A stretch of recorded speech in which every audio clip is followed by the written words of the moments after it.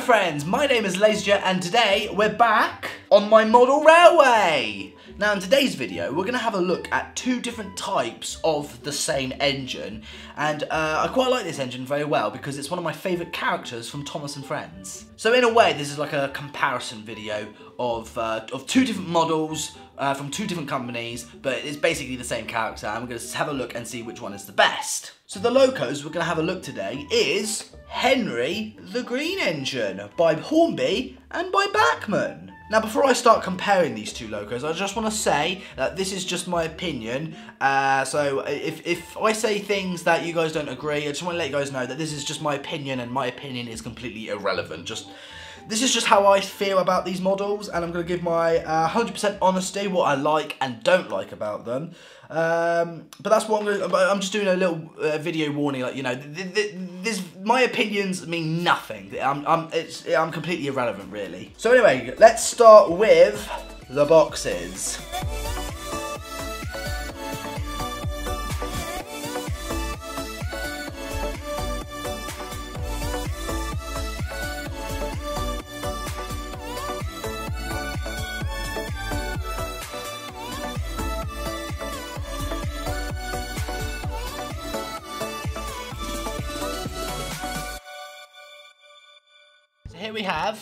The Bachmann Henry, or Buckman, I mean, pronounce it how you want, I mean, I say Backman.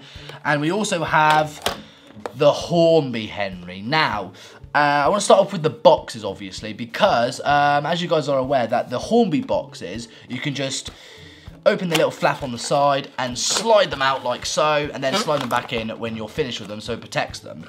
But for the Bachmann boxes, I have to be honest, it's a bit annoying because uh, you're going to have to use like scissors or, or, or something sharp to uh, snip away the top to actually get the engine out and the package will just be thrown away.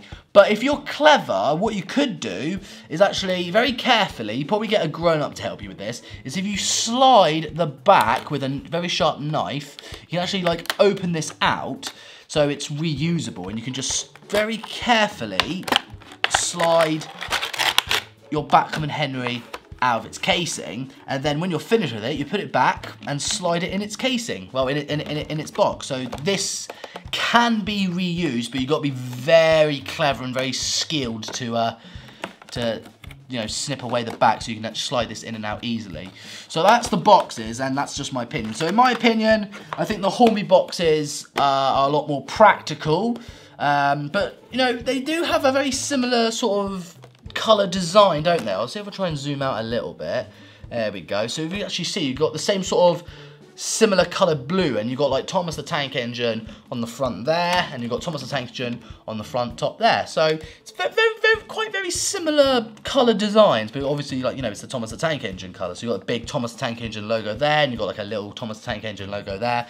So that's, that's, that's, uh, so those are the boxes, uh, although I've got to get the uh, Hornby Henry out, so let me just slide them out. There we go. Lovely. I do love the uh, the Hornby boxes, I have to say. So I think um, out of the box test, I think, in my opinion, I think the Hornby boxes are a lot better because, I mean, these packages are designed to be chopped up and uh, thrown away in the bin. But if you're clever, you can sort of like make like a little like a little lip. It looks like a weird mouth. Nom, nom, nom, nom. But no, but if you're very clever, you can open this up, slide the train back in its uh, in its little box. But uh, it won't last forever though. It will suddenly get quite worn over the years or months. Depends, you know, how you got to be very delicate with these boxes.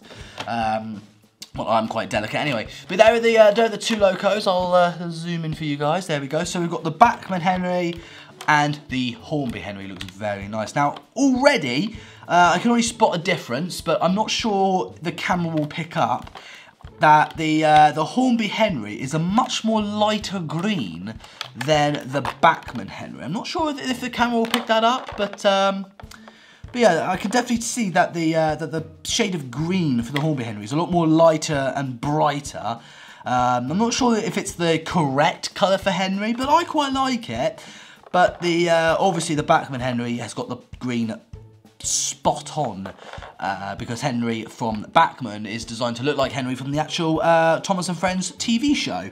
Although the uh, Hornby Thomas and Friends locos are basically based on the locos that they actually are. I mean, I do love the Black Fives in general, but this is a really nice model of Henry, like in a Black Five uh, shape and form, so that's really nice. So anyway, what we're gonna do now is we're gonna move on uh, to um, like you know the, the, the close up and the detail stuff. So let's let's get them out of their actual uh, plastic casing and uh, see what they look like in close up. Right, so now we have the Bachmann Henry and the Hornby Henry on the tracks. Now again, I'm not sure you can pick this up on camera, but you can tell that the uh, Bachmann Henry is a much more darker shade of green compared to the Hornby one. The Hornby one is definitely a lot more lighter.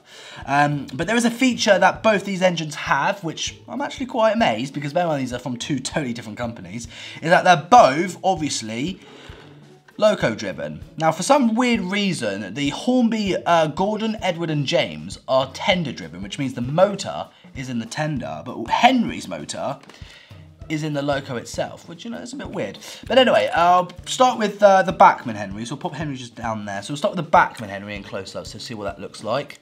Uh, wait for the camera to hopefully focus in. Let me see if we try and uh, fix the focus. Just bear with me, my friends. There we go. So there is Henry, well, the Bachmann Henry anyway, and, uh, ooh, it's going out, very out of focus. This camera is very badly behaved. There we have uh, Henry in close-up, um, although Oh, this, this this this lens is very rubbish. I do apologise. But there is Henry uh, in close up. Looks very nice indeed. The green looks perfect. The only thing I don't like about this model is I have to be honest, is that you can actually see like a line on top of the boiler where they like put it all together. Like I mean, it's not very noticeable, but like you know, like if you look at a close up, it is a little bit noticeable. But um, but I guess you know you can't really see it. Um, but like you know, it would have been nice if it, if it was rather like you know somewhere else or, or maybe not there at all. If they just made it into one solid piece but never mind. Uh, but I guess that's like the only issue I have with this although I do have one more I do have to say is that the lack of detail in the cab I mean it's it's a lot better than it was before because the older Bachmann uh, Henry uh, the cab was actually green but uh, Bachmann have updated their Thomas and Friends models and they've painted the cab black which is which is which is amazing which, which you know it's it's a it is a noticeable difference but it would have been nice to have a little bit of detail in there. But apart from that, it's all good. It's still a nice model. It's got a coupling at the front, so this thing can pull trains backwards rather than just forwards. And then we'll show you uh, the uh, the tender. So now the tender is actually quite light, and it's um, hasn't got very got much weight in it at all.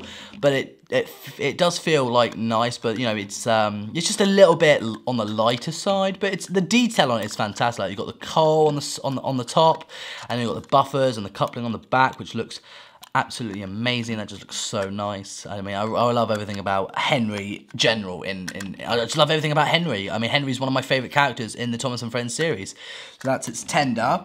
Now, if we go to the Hornby Henry, so I'll just pick him up like so. And here he is in close-up. Now, obviously, there's a massive difference in, in detail.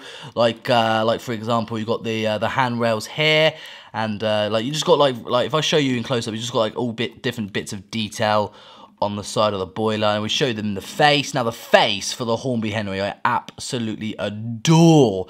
It's just a lovely little happy little character, isn't he? Look, look at Henry. Or when I say little, he's actually one of the biggest and strongest trains on the island of Sodor. Although some of you might think the green is a bit too bright, but I absolutely love the bright green. Um, again, uh, the problem I've got is if you actually look on the top, you can actually see the line where the where the engine is actually put together. But I do love the uh, the red stripes on the, uh, especially on the uh, on the firebox. That looks so cool. And if we have a look in the cab, uh, it's got a bit of detail, but not by much. But you can notice, no, noticeably, noticeably, no, what's the word?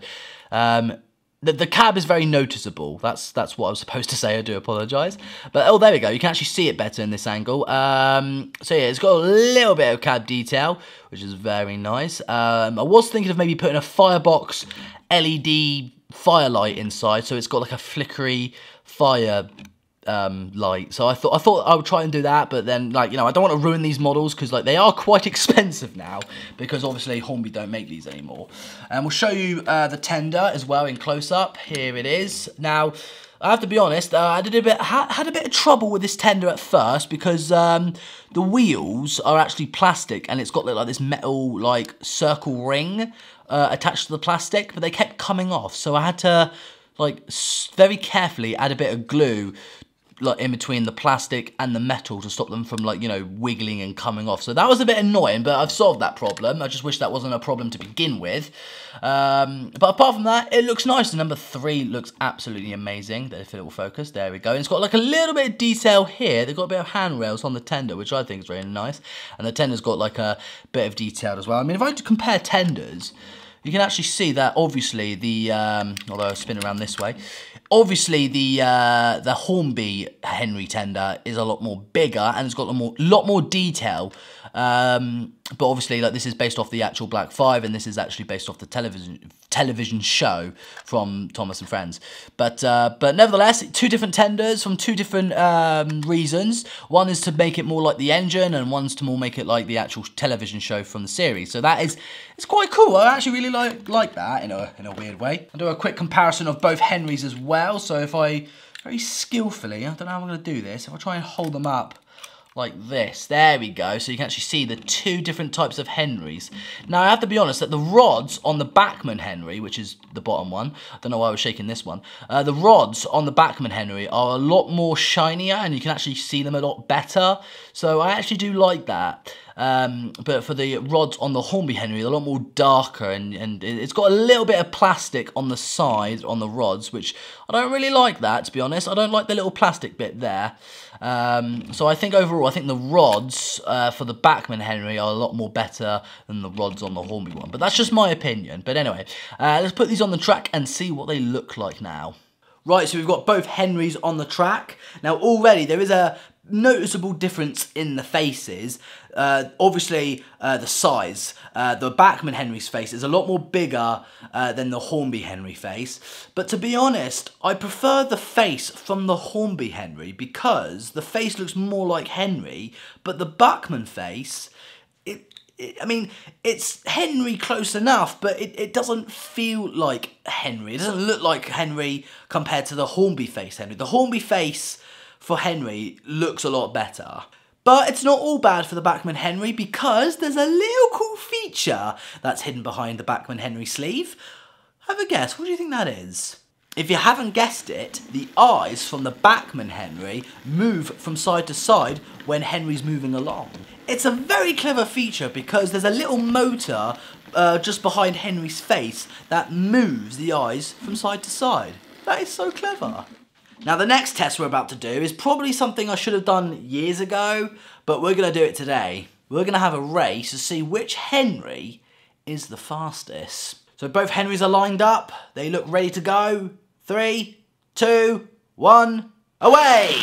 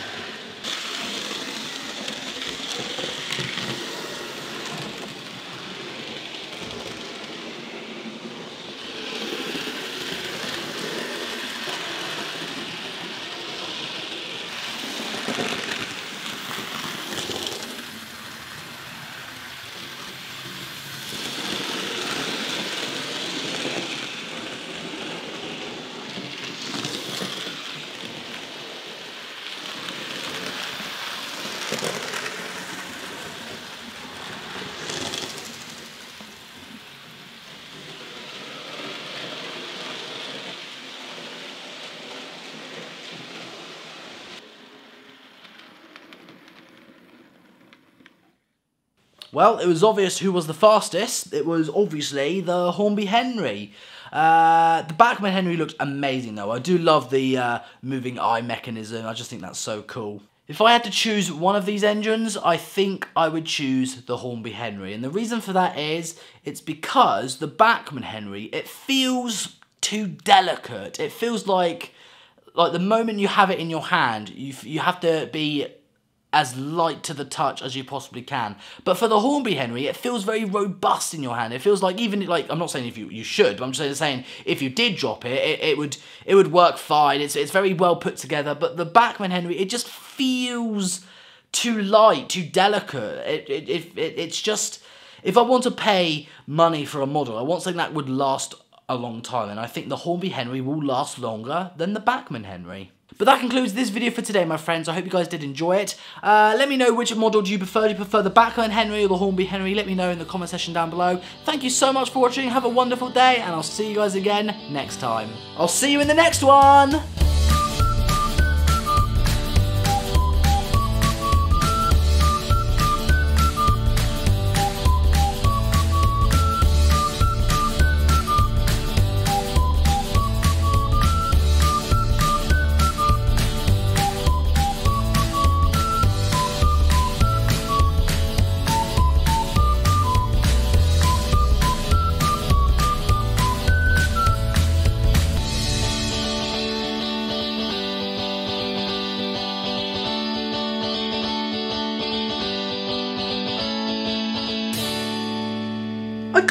Expert at this stuff. Um. Oh.